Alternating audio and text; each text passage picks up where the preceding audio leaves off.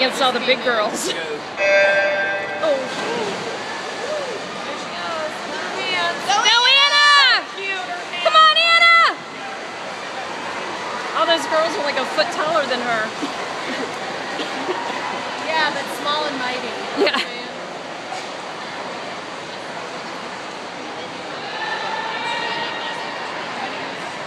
She's holding her own.